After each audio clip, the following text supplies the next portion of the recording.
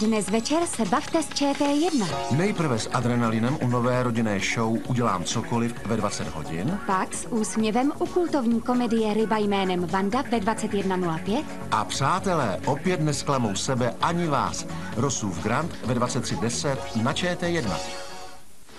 Na dnešní večer jsme pro vás připravili na ČT2. Večer na téma Karel IV. ve 20 hodin. Vzpomínka na tragicky zesnulého Pavla Kouteckého. Posezení s Janem Burianem ve 22 hodin.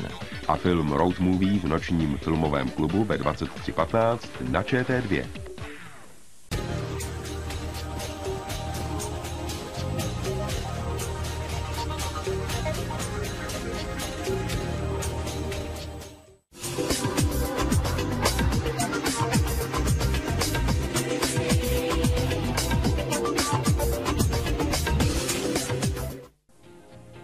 Jste dívka ve věku 15 až 19 let?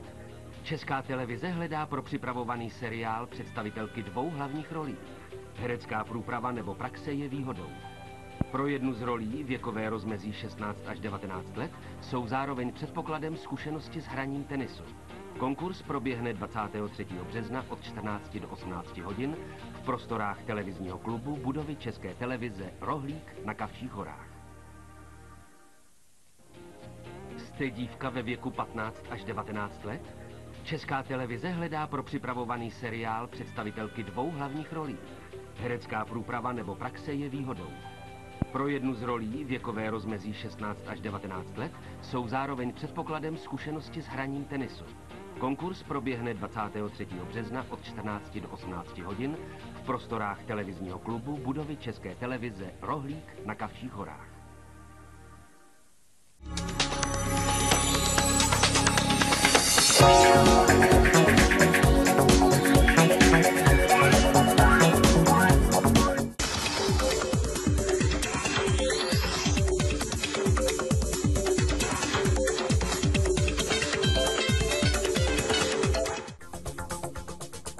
www.českátelevize.cz lomeno chat.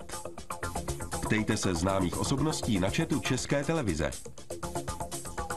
Ve středu od 15 hodin si můžete začetovat s Jiřím Bartoškou, prezidentem 42. Mezinárodního filmového festivalu Karlovy Vary.